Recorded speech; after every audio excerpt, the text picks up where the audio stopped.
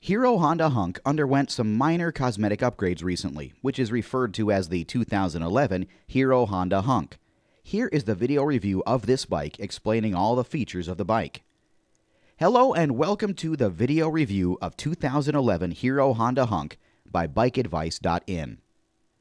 The looks of the 2011 Hero Honda Hunk impressed me to a certain extent, but it evidently revealed the fact that it was not very different from her predecessor, the old Hunk. Visually, the headlamp visor has undergone a slight plastic surgery to get a muscle bike touch, and I would say that Hero Honda has succeeded in its attempt as well. This is the most visible of all the minor changes that this bike has been incorporated with. What impressed me in this bike is its instrumental cluster. Hero Honda prefers it being called Anno Digital Speed Panel which is a combination of both analog and digital speedometer. There is only a slight pinch of digital effect, and the rest of the cluster is dominated by analog devices itself. Though it's not completely digitalized, as I've been telling, it looks really macho in terms of layout. The tachometer dominates the cluster with its bigger dial.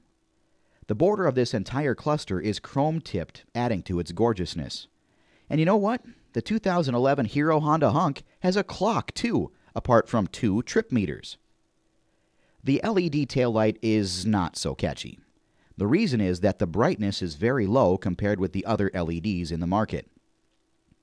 As in the case of 2011 Karizma ZMR, there are pinches of Astra Gold here and there. The front shocks and the GRS suspension are Astra Gold touched and look very neat and decent. There is too much color in every single hunk. In the red hunk we rode, most of the body area is red colored. The grab rail and the area above the taillight, a kind of grayish black matte finished, and the muffler cover is glossy black in color. I would call it a great color play. The body colored mirrors are cool enough to attract attention. The side air intake scoops remind me of the Yamaha Gladiator. Now let's get to the riding impression of the hunk. I started the bike, and the first surprise waited right there for me. A mere touch with slight force is more than enough to ignite this bike. It's pretty similar to what we refer to as feather touch. Damn impressive. Right here, the 149.2cc air cooled single cylinder engine comes alive. The engine is capable of producing a maximum power of 10.6 kW at 8500 RPM and similarly a maximum torque of 12.8 Nm at 6500 RPM. The initial pickup of this bike is at par with the other fierce warriors in the market. When it comes to the gearbox, the 5-speed gearbox is not as slick and sharp as the Yamahas. There was this issue in the previous hunk as well. Though it's not irritating to use it, Hero Honda engineers could have worked on it a little bit more. But still, it's fine. At 146 kilograms, this bike is not heavy to handle and is easy to use in city maneuvering too. The riding comfort in this bike has nothing specific to talk about. As we've been seeing, the seat of Hunk is pretty different from the other bikes. It's not exactly split seats, but the height between the area for the rider and the pillion rider is really high. The one which we tested for bike advice was the single disc variant of Hunk. There is also the option of choosing with discs in both front as well as in the rear. The front disc is of 240 millimeters, which is really small and offers very poor braking experience, an issue worth concern. The Nitrox gas reservoir suspension offers good suspension in the rear. To mention about its tires, both are fitted with MRF Zapper tubeless tires and offer decent road grip. The five spoke alloy looks cool and matches perfectly with the looks of this bike. And above all, guess what? The Hero Honda Hunk has no kicker to start the bike.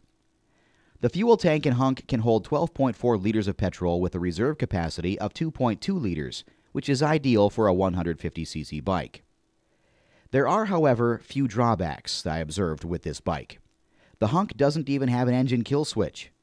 Almost all bikes today come equipped with one. For guys like me who are used to using this switch in traffic signals to turn off the bike, it is pretty hard to get used to it. I don't know why this switch isn't present. That area of the handlebars vacant anyways.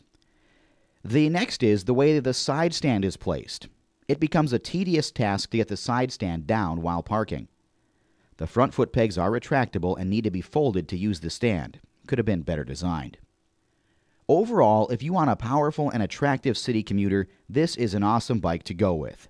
But if you expect a tourister kind of performance, think before you leap is all that I gotta tell you. But if you have one already, no regrets.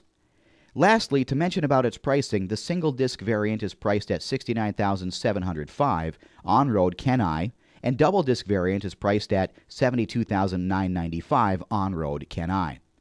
Overall, we at Bike Advice offer a comprehensive score of 3.5 out of 5 for the 2011 Hero Honda Hunk. Thank you for watching this video. What do you think about the 2011 Hero Honda Hunk?